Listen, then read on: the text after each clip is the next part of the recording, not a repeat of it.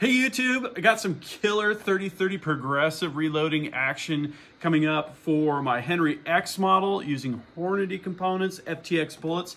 You guys are gonna absolutely love this and call out to WHOTEEWHO. This is right up your alley.